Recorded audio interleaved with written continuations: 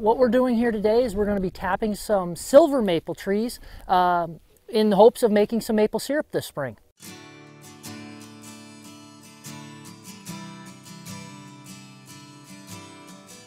The, the process really hasn't changed uh, since about 1860.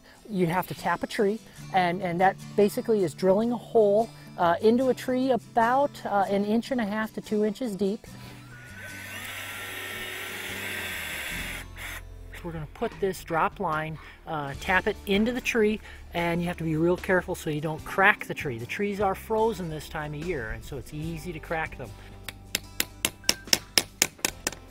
We're going to run this drop line into a five gallon bucket and then the process starts all over again with the next tap.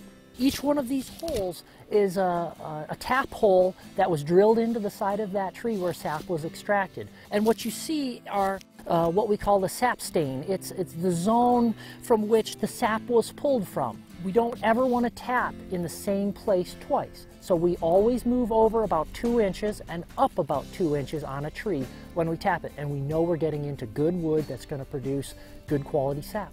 We're always asked, when do you make maple syrup? Well, it starts now. It starts in the middle of February, and if we're lucky, we'll go through February and into the first part of March. We may sometimes get a three to four day season, sometimes we'll get a six week season, but it's only in the spring.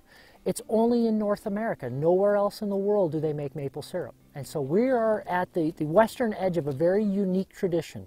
So we have it on number one, so it'll go slow, um, and you may have to clean it out once or twice.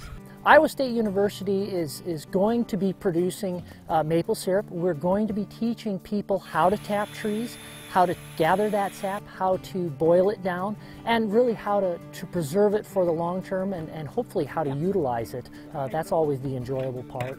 I, I, have no great plans of turning Iowa into the next Quebec or the next Vermont or Maine. Uh, we don't have the sugar maple capacity that they have.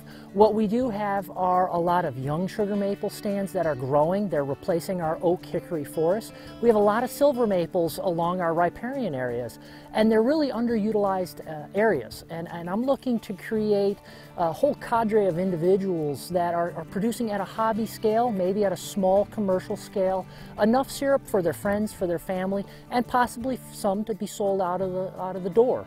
Where I see it really growing in the next 10 years is at that hobby scale, uh, one to maybe 200 taps, and that will be enough syrup for them to sell.